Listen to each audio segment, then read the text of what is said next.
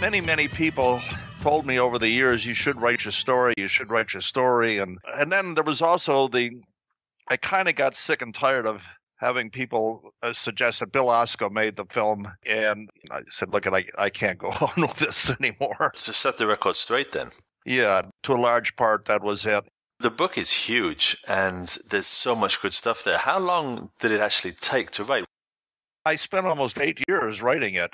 I mean, it's kind of incredible, you know, that you start getting into it and, and then you realize all the stuff you forgot and had wrong and you start looking into it.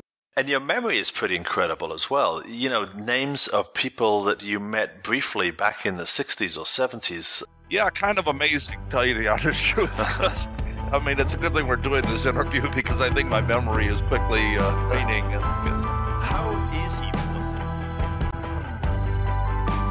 For more of this interview and many others, as well as blog posts, articles, and photos about the golden age of adult film in New York and beyond, visit therialtoreport.com.